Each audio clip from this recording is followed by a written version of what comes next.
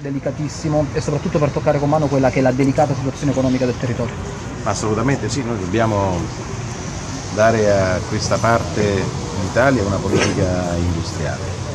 Eh, Brindisi come Taranto ha una vocazione industriale, oltre a una vocazione turistica ovviamente, Eh, c'è un grande porto che deve essere valorizzato, già ne abbiamo parlato in più occasioni, viene in visita eh, quando ero Presidente del Parlamento, l'autorità portuale, il Parlamento, abbiamo porto abbiamo cercato di lavorare per valorizzarlo. Come ha valorizzato e tutelato un comparto industriale, pensiamo all'aeronautica ma anche a altri settori eh, che rischiano di soffrire. Ma quando manca una vera politica industriale sia da parte dell'amministrazione regionale sia da parte dello Stato è difficile che ci possa essere sviluppo dell'industria.